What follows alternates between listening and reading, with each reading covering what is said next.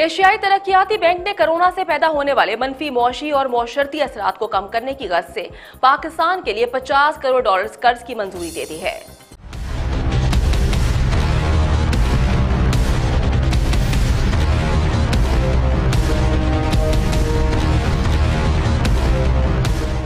एशियाई तरक्याती बैंक से मिलने वाला मजकूरा कर्ज, माशरती तहफ़ के प्रोग्राम समेत सेहत के शोबे की सलाहियतों को बढ़ाने और रोज़गार के मौाक़े पैदा करने के लिए इस्तेमाल किया जाएगा। ए डी बी के सदर मातसोगो आसकावा ने कहा है कि कोविड नाइन्टीन पाकिस्तान को बुरी तरह मुतासर कर चुका है। हम इस मुश्किल दौर में पाकिस्तान के साथ मुकम्मल ताउन के लिए पुरज़म है। ए डी बी के सदर ने कहा कि प्रोग्राम की मदद से हुकूमत मुख्तलिफ़ शोबों की इस्तदाद कार बढ़ा सकती है, जिसमें माशरती तहफ़ और सेहत के शोबे शामिल हैं।